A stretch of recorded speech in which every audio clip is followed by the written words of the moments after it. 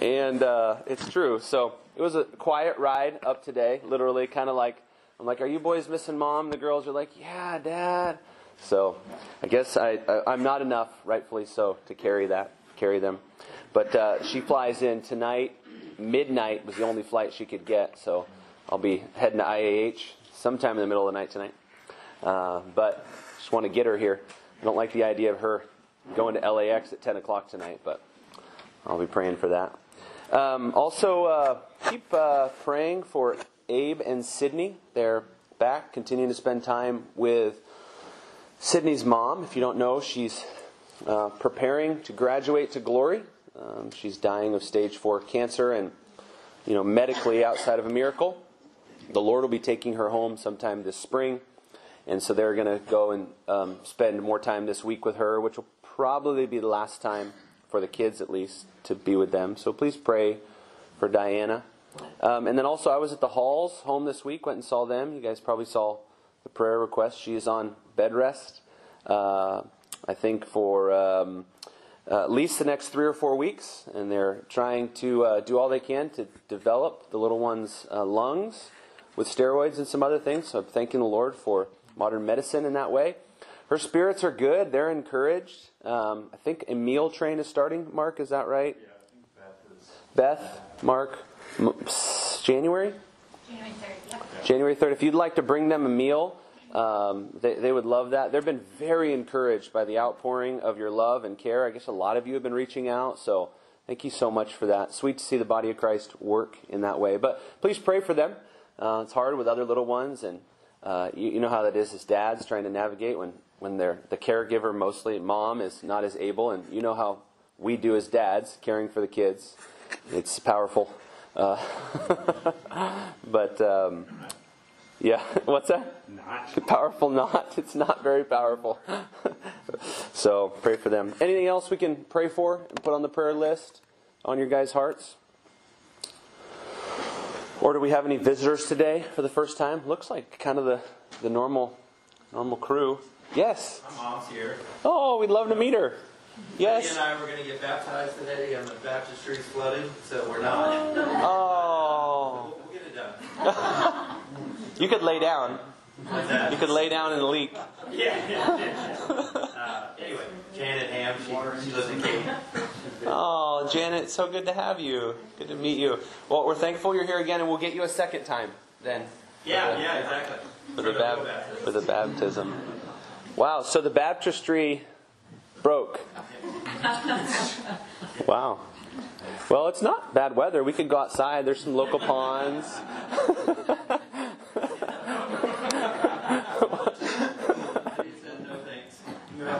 Yeah.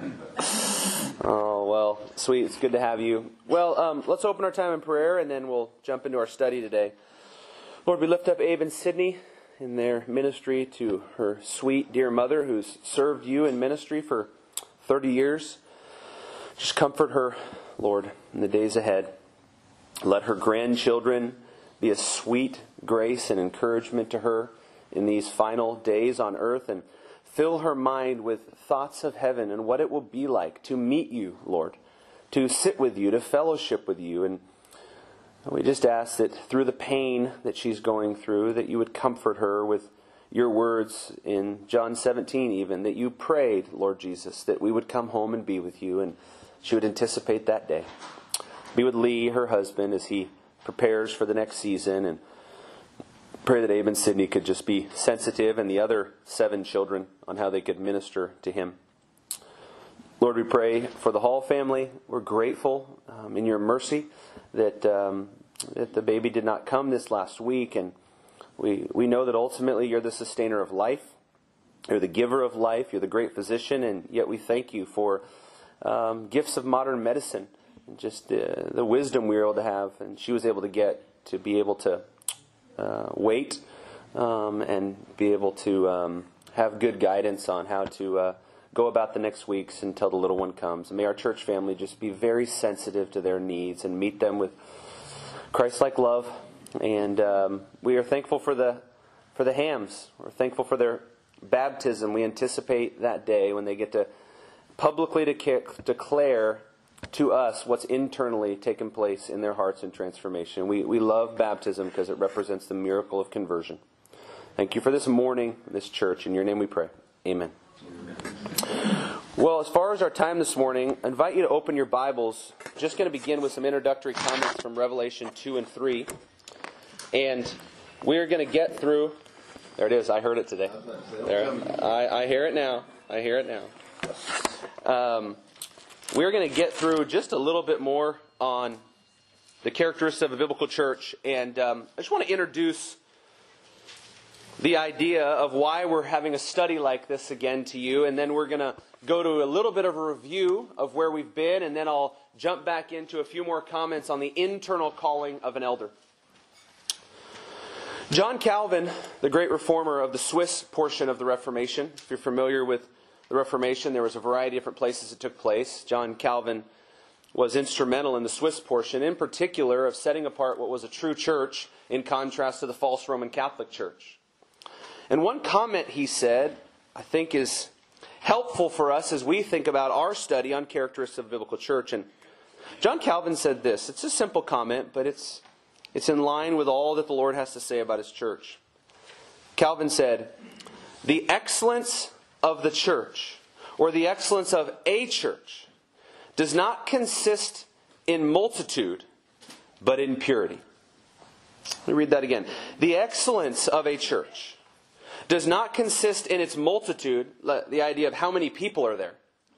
But it, what, what makes up a church being excellent to Christ is this that it has purity.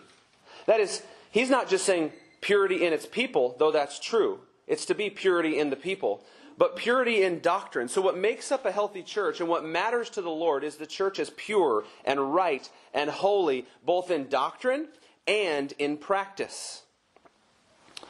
People are to understand the pure doctrine about the church, and people are to practice purity in their lives not only in, in, a, in the, the truths that they believe and know about his people and about the Christian life, but in all of their practice as they apply his word.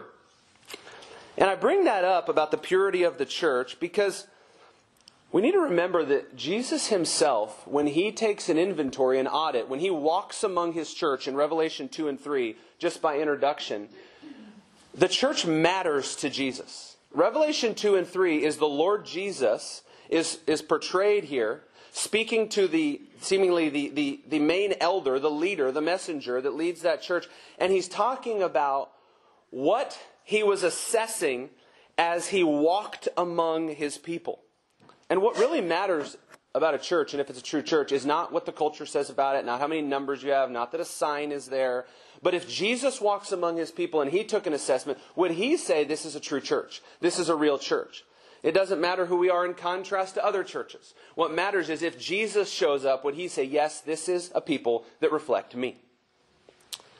And we need to remember that five of the seven churches in Revelation 2 and 3, Jesus severely warned. In Ephesus, if you just want to look there, he rebukes them for leaving the love they had at first. Uh, to go back to Calvin's comment, they left the purity of love. And Jesus says to them, if you don't repent and go back to being a church the way I say a church should function, namely with your love, Jesus says to the church in Ephesus, I'm leaving the membership roll. I'm removing your lampstand. You can all still gather, but I'm no longer attending. The church matters to Jesus, not only um, in terms of, of its basic function, but it matters to Jesus how loving the people are to determine whether it's a real church and a faithful church, one that he's going to attend. To Pergamum,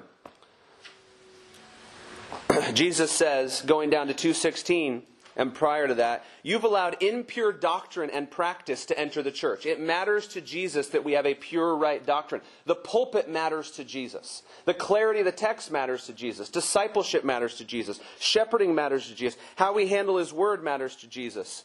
And then how we practice purity matters to Jesus. What's he saying in 2:16? Therefore repent, or else I'm coming quickly.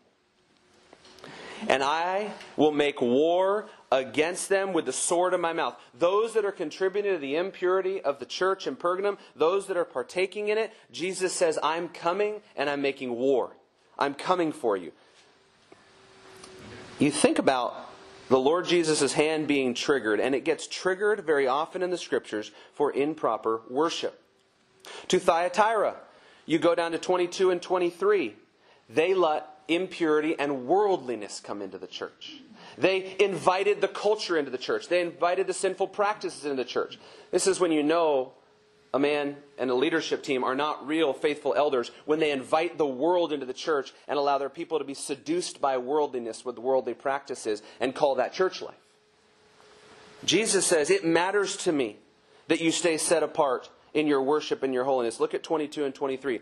Behold, I will throw her on a bed of sickness, and those who commit adultery with her into the great tribulation, unless they repent of their deeds. Unless there's repentance from impure practices and impurity in worship, Jesus says, I'm coming. And I'm coming to bring retribution. And remember, each of these comments in Revelation 2 and 3, they're corporate. So Jesus is addressing the leader, and he's saying it to all of the church. This is a call for corporate worship in a church to repent. To Sardis, in chapter 3, verses 2 and 3, you remember? Their devotion to him became lifeless. Look at 3, 2, and 3. Jesus says, Wake up and strengthen that which remains, which were about to die, for I have found your deeds. Not found your deeds completed in the sight of my God. Verse 3 So remember what you have received and heard, and keep it, and repent. Therefore, if you do not wake up, Wake up from what? Wake up from indifference. Wake up from laziness in church life. Wake up from coldness in church life. Wake up from not bringing real gospel biblical light. If you do not wake up and step into the light, I will come like a thief, and you will not know what hour, but I will come to you. The church matters to Jesus. It matters how we conduct ourselves in church, even the life and body life. What is it that makes up vibrant body life? That was no longer in Sardis. And then Laodicea, down to 316. You know the church in Laodicea. They're neither hot nor cold. They had lost their vibrancy, they had lost their devotedness. Look at what Jesus says to them in 316. Because you are lukewarm and neither hot nor cold, I will spit you out of my mouth. Like, to get back to John Calvin's quote I started with, it matters to the Lord, not how many people are there but the people that are there, that they function and they live and they believe what Jesus says we are to live, what we are to believe, and how we are to conduct ourselves as a church. The church matters to Jesus. Why we're doing this study is because we want it to matter to us what matters to the Lord. Said another way, might even think of it this way when you look at the scriptures, the volume is very loud when Jesus talks about how much the church matters to him and how it's to conduct himself matters to him. We might say, when the Lord talks about his church, he talks about it with contours and clarity and precision, how it's to function, who's to lead, who's not to lead. What are the people to look like? What are they not to look like? What's body life to look like? What is not to look like? What is unity? What is false unity? What is real preaching? What is false preaching? What is real leadership? What is false leadership? What is biblical love? What is a lack of love? What is biblical communication? What is biblically resolving conflict in the church? What are the one another's? There's 70 of them. It matters to the Lord how we conduct ourselves. That's very loud in the scripture. And yet, I think what concerns me a lot of the time, and I know many of you, is in the modern American church, well, that's loud in the scriptures. It's like they're always trying to turn the volume down about what makes a real church distinct. It's, it's as if every other major area of doctrine, soteriology, the doctrine of salvation, we need to get that right. Sanctification, the doctrine of sanctification, we need to get that right. You know, pneumatology, the doctrine of the Spirit, we need to get that right. Demonology, angelology, fill in the blank. And then this, this thing, ecclesiology, the church, it's like, yeah, you can kind of do whatever you want there. You can kind of conduct yourself how you want. Oh, yeah, who leads, leads, that's okay. Who's excited can be a part of it. We'll put up a sign, we'll put up some advertisement, we'll have some people, we'll call it a church. That is not the message of Scripture. Scripture has a lot to say about what a church is, what it's to do, and how it's to function. And so, if you remember in our series, because of that, we've been studying in preparation for our launch a biblical church, characteristics of it. You remember we studied the Great Commission, the Great Mission, which is church planting, church strengthening.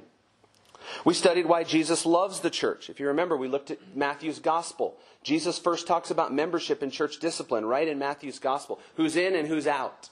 The authority given to leaders in the church, the authority given to the church. We saw in the book of Acts and the epistles our Lord's heart for his people, how churches are formed, how they're established, and how they're to function. We started introducing that. And then we transitioned a few times ago about biblical shepherding and biblical eldership. You remember we talked quite a bit from Ephesians 4 7 to 16, how called, qualified, gifted men are given to the church, which uh, is the indication, if those men are healthy, that the rest of body life can be healthy. If you pull out healthy leadership, the church falls apart under it. And so we've been studying what is an elder. And I had five questions. I failed to mention them last time, but I'll give them to you again that I've been answering on characteristics of a biblical church as regard to elders. The questions I had were this What is an elder? We covered that, and we're still covering it. Why do we need elders? We've been covering that, and we're still covering it. And then we started getting into it relates to the first two. How do we identify a real elder? And I've spent two times now talking about the internal calling of a real elder. So you've got external, we might say, his character, objective, and then we've got internally what God puts in the heart when he calls a man to be an elder. And that takes shape in the fruit in his life, and we can know that that internal calling is genuine by how it takes shape in his life and by his spoken desires. And then we're going to talk about in the coming weeks if, the, if we know what an elder is, and why we need them and how we identify them. In the coming weeks after the new year, we're going to talk about what is their accountability and how are they raised up in a church. Because that is a question going back to Richard last week, Pastor Richard, when he says, We will be independent on our own at Cornerstone Bible Church when there's qualified plurality of leadership. So you might be wondering, how does that take place? And I can't wait to talk about it. But as for today, I want to continue our sustained discussion here on how do we identify a real elder a real shepherd, one called. And you remember, we were in Acts 20 28. The Spirit appoints elders, God makes elders. I've been talking about that a lot, and we see that in the scripture, right? And then we looked at 1 Timothy 3 1, right? God gives a man a desire, a burden, this craving to be an elder. What I want to talk about, just for the remainder of our time this morning, is one thing I, I haven't hit on as much, but I, I want to just kind of drill it home one last time so you understand my job description, any elder's job description, and help you really grasp what it is that God calls shepherds to be for his church in summary. So I just want to summarize what we've covered and drill it home, and I want you to see it in some passages. Again, so if God calls a shepherd to lead, right?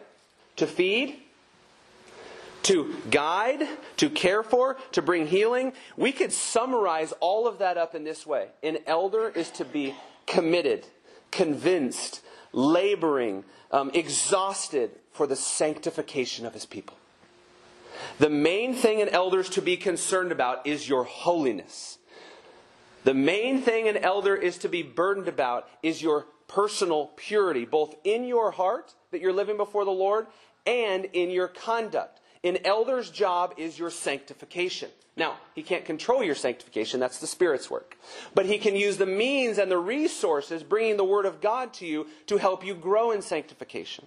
I think sometimes today, uh, and I, have said this before, maybe you've heard me say it, but it's like a, a, an elder or a shepherd, we kind of put them on this this spectrum of like, you know, you got like life coaches, and you've got your gym trainer, and you've got your continuing education people that instruct you, and you've got uh, uh, psychotherapists and psychologists and all these people. And, and a pastor's kind of like all of them, just kind of there to help you in a variety of ways and just, you know, string together quite a few things in your life so you kind of just exist with more comfort and more aid and you're encouraged. And certainly a pastor wants all of those things. But all of that is a wash if his main primary center of the target goal is not your sanctification, your holiness. A pastor's job is to be concerned about what the Lord Jesus is concerned about. What is the Lord Jesus most concerned about in your life? Your comfort? Um, you know, great job, great career, lots of money, pension. All those things can be fine. But what is the Lord Jesus most concerned about in your life? John 17, 17. Jesus prayed for you. What did he pray? Sanctify them. Set my people apart in their heart and in their actions in truth. My word is truth. When Jesus prayed for you to his Father, he prayed you'd be holy. Jeremiah 23 15. I've shown this verse to you twice. I'll just state it again. The Lord says, When I give you shepherds, I'm going to give you them what? After what? My own heart. So shepherds after the heart of God or after the heart of Christ are concerned about what? People being sanctified in truth. This is why a pulpit that doesn't preach for sanctification is no real shepherding pulpit. A pulpit ought to be a place where the pastor is preaching for the sanctification of his people, for that fulfills the Lord's burden. Mark 9:36. Do you remember Jesus looked out at the people? Remember Lord Jesus. He looks out at the people and he's burdened as a shepherd that they were sheep that did not have shepherds. They were despondent and dispirited. They didn't have clarity how to grow in holiness. That burdens Jesus. When we think about the qualifications of an elder, and we think about the calling of an elder, when a man is called by God internally to be a shepherd, what God's placing in his heart is a desire to see his people holy.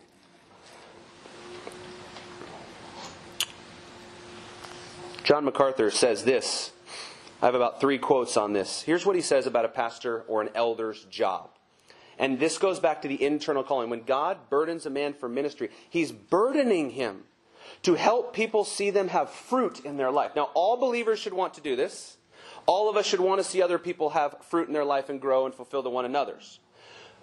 But this is the all consuming passion and concern of an elder that his people are holy. John MacArthur says this As a pastor, I understand my responsibility is not to the community, it's not to the culture, it's not to the people down the street. I'm not supposed to be entertaining them, clever enough to suck them in. I'm not going to redefine the church so that non believers are happy and content. My responsibility is a very simple one, and it is to follow the great shepherd in the pursuit of the sanctification of his flock through his word. That's my mandate, and my reward will be based on my faithfulness to it, and my lack of reward on my unfaithfulness. He says this Pastors are not called to the culture, we're not called to the unconverted. We have a mandate to feed our flocks so they grow spiritually. We're called to serve the redeemed people of God as an agent of sanctification and protection. The measure of a man's ministry effectiveness is not the number of people in his congregation every week, it's the Christ likeness of his congregation. He later says, The doctrine of sanctification defines our ministry. We are for the sanctification of God's people. Progressive, lifelong. It's why we do what we do. It's the pastor's work. It's the elder's work. That is why we are called. And this is a joy. This is a privilege for a pastor. It's a privilege to be thinking about the sanctification of his people. Let me show you this in a couple passages. Turn to Colossians 1. We're going to do quite a bit of coverage here in about 15 minutes of a number of passages. And I want you to see this on the page of the Scripture. Don't just take my word for it or John MacArthur's word for it. Let's look at the text.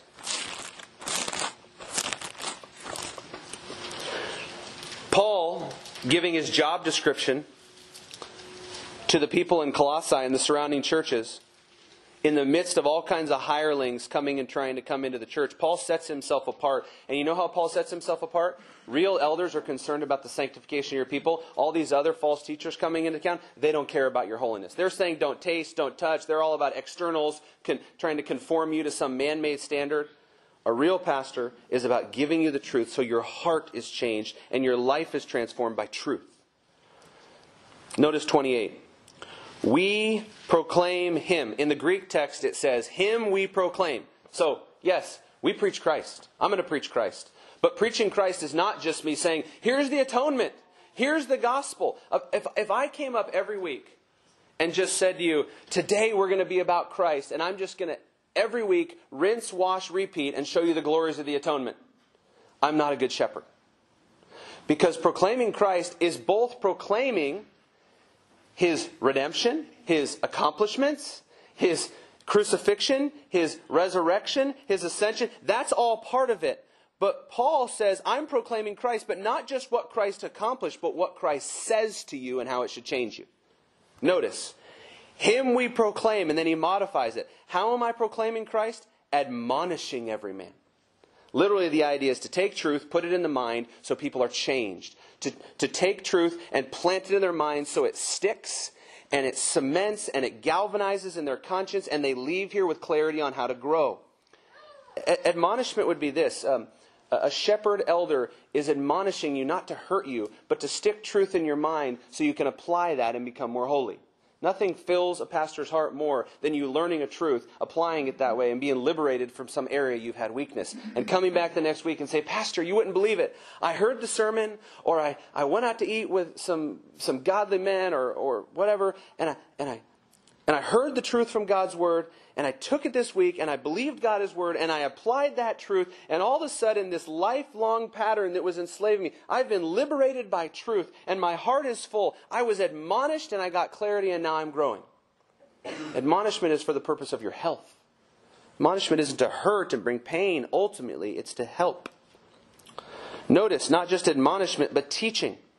The consistent, steady, constant exposure to Scripture. Uh, if I could and you would let me, I would meet with you all seven days a week and I would just preach every night. And we'd do small groups and we'd do discipleship, and, and that would not be good because it'd be in balance in your life. But the, the idea is indoctrination. A real elder, a real pastor, his job description is to indoctrinate. And that's not just teaching up here. See, my old pastor used to say this it's one thing, Pastor Jerry Ragg, to preach a sermon to you and give you good content but I'm not a shepherd yet. My job is after I've fed you a meal is to step down and then help you digest that. So it's not just teaching up here and then you never see me again or you never see godly elders again. It's teaching up here and then now you're in Acts 20 and it's house to house. It's life on life. That is teaching. Teaching and admonishing from the pulpit, in the pew, and house to house. This is body life. This is the instruction we're talking about. This is an elder's job description. Sometimes you'll hear about an elder or a pastor, and it, it, it, would be sad sometimes if you heard more about his life and if, if you asked him what he does between Sunday to Sunday and maybe a slot on Wednesday, and if you don't see people in those slots or times he's engaging people, house to house, discipleship, coffee shop to coffee shop, teaching the truth, you wonder if he's really fulfilling the mandate that's called here because it's teaching all the time. And listen, this is not just when they have energy or just when they feel encouraged. It's actually to the point of exhaustion. Look at 29. For this purpose I labor. That is the word for a farmer who is burdened in the field week in and week out until he sees fruit. Kopos. And you know the next word there? Striving. I'm going to give you the Greek word. Agonizomai. What's that sound like? Agonizing. So, kopos, laboring for fruit, agonizing. It's these athletic, these wrestling, these fighting, this, this, this labored working up a spiritual sweat. And then look, he stacks up another word striving. Uh, I labor, excuse me, I already said that word. Striving, agonizomai. And then he has another, another word there, um, which, uh, according to his power, which mightily works. That's God working while I'm working. That's labor intensive word groups. God working in me while I'm working. What am I laboring for? For fruit. What am I striving for? A pastor, an elder, a shepherd, agonism, agonizing. According to his power, what am I mightily working as God works in me? For what? Go back to 28 now. Teaching, admonishing, and notice the sphere. With wisdom, helping people wisely apply the truth in a variety of circumstances. For what purpose? To make a better version of you? To give you your best life now? By the way, I drove by that church the other day. that, that so-called church, to get to give you some to give you some version of yourself that makes you feel better about the, the version of you that you like to think about? No. So that we may present every man complete in Christ. You know what that word complete there is? Teleos. It's the word to describe full maturity.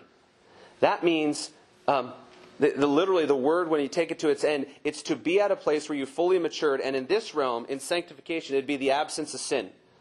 So, guess when my job is done? Guess when an elder's job is done? When you have the absence of sin in your life. Guess when that happens? When you go to glory. so, guess when an elder's job is done? when he sends you off to the chief shepherd. Sanctified. And in the meantime, you're to be progressing in personal holiness. The word means to be mature, to be complete, to be growing. Look at it. Him we proclaim, admonishing, teaching, with every man, with all wisdom, in the sphere of wisdom. Look, life is complicated. Life is difficult. Not every decision is black and white. Sometimes it takes a lot of prayer and a lot of time to think about the wise application of a truth in a certain context. A, an elder's job is to help people walk in wisdom.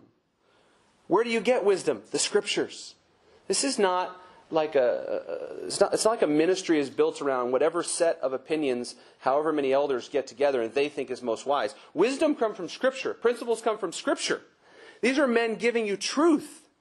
A pastor's job is your sanctification to walk in wisdom, to walk in truth, so that, for the purpose, notice, that when he meets the chief shepherd, he can say, Lord, your people are more mature than when they came in and were under my care. Lord, this person came in and I did I labored and strived. It was your work to sanctify them, but I gave them the tools and the resources to do it, and I can hand them back to you, and they're bearing more fruit than they were by your mercy, by your grace, for your glory. Do you know that that concept of a congregation's holiness being reflective of a pastor's faithfulness is all through the scripture. Their fruit, their sanctification, their holiness before the Lord and as a reflection of a man's ministry is part of his passport for usefulness. MacArthur said it earlier that you measure a man's ministry not by the size of a ministry, but the sanctification of his people. Look at what Paul says in 2 Corinthians 3.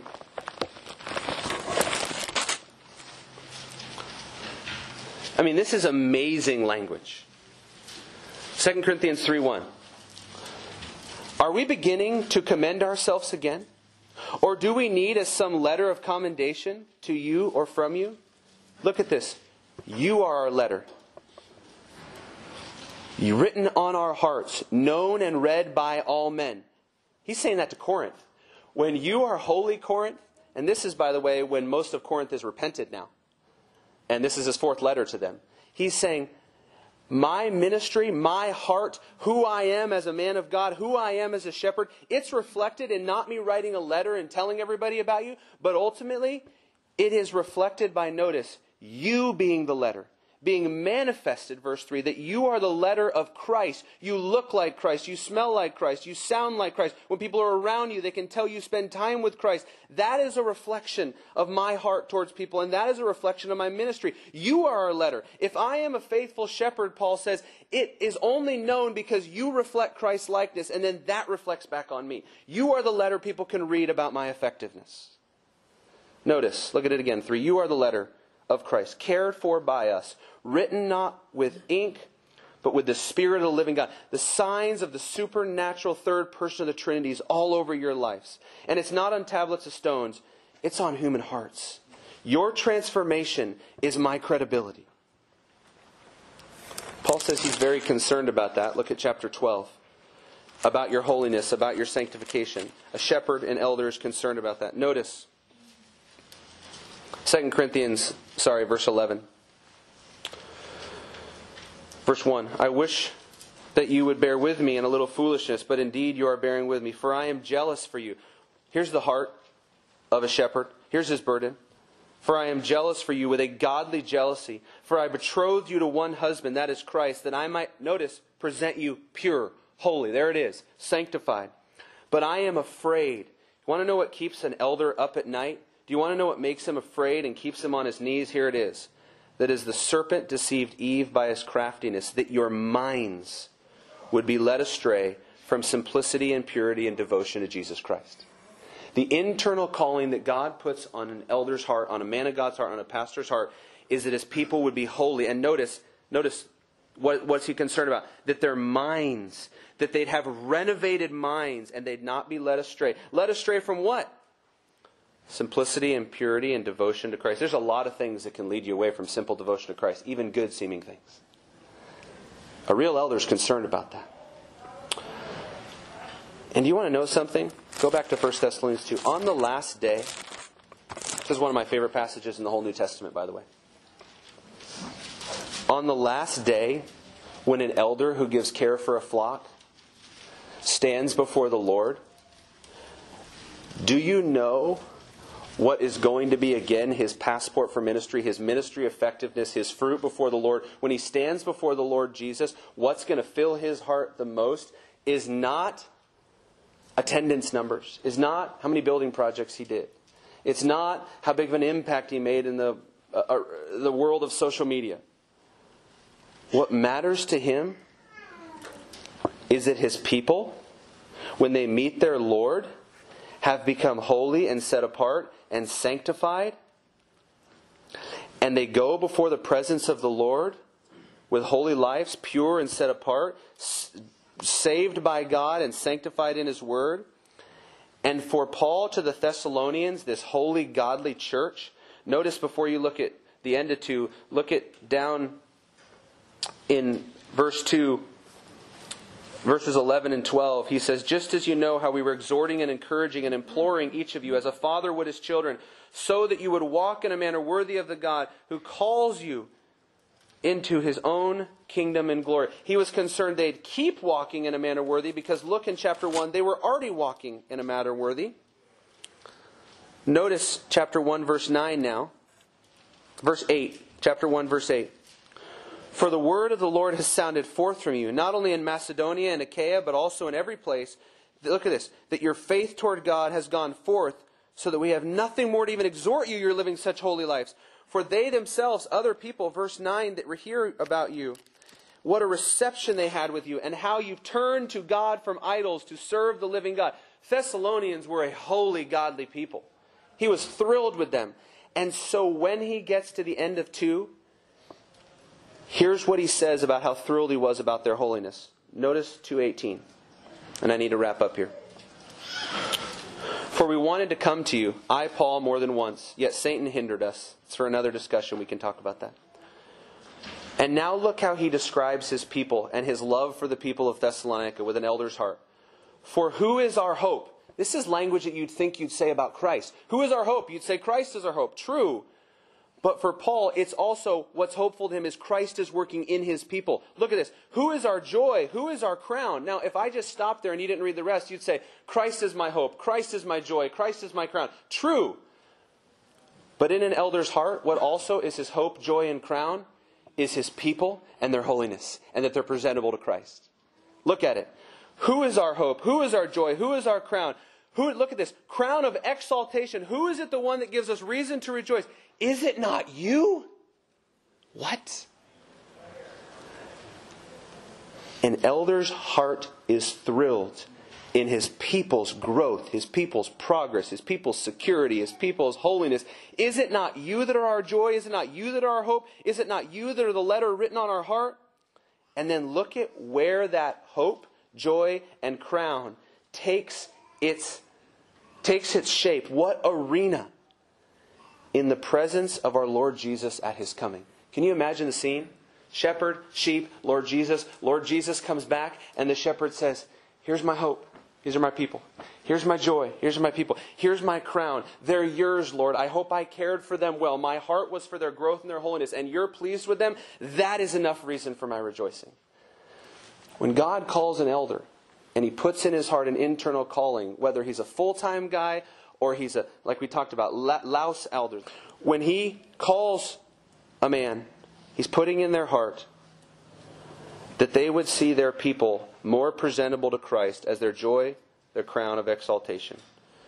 So when we wrap up this study of the internal calling, I just want you to understand that when God calls elders, God makes elders with this internal burden to see his people holy, and it externally takes shape in their actions.